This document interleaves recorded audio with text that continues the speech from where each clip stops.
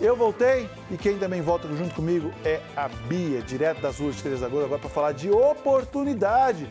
Temos vaga para professora em Três Lagoas. É isso mesmo, Beatriz Benedetti.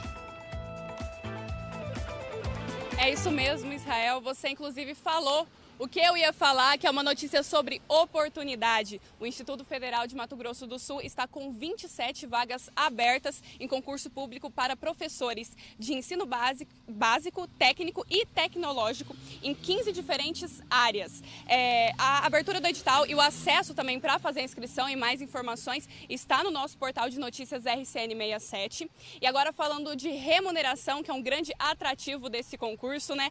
Por 40 horas de trabalhos semanais, ela está variando de R$ 4.400 até R$ 9.600. Lembrando também que tem um auxílio alimentação que chega a quase 500 reais. O regime de trabalho é de dedicação exclusiva, ou seja, impede o exercício de uma atividade pública ou privada.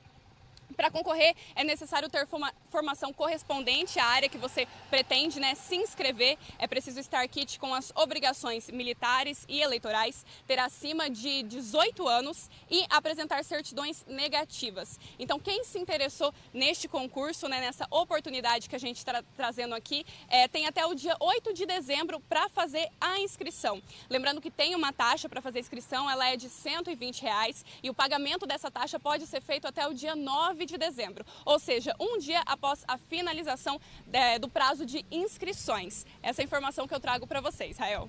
Tá certo, Beatriz Benedetti, direto das ruas de Três Lagoas. Pode vir almoçar, menina, que você já está com fome.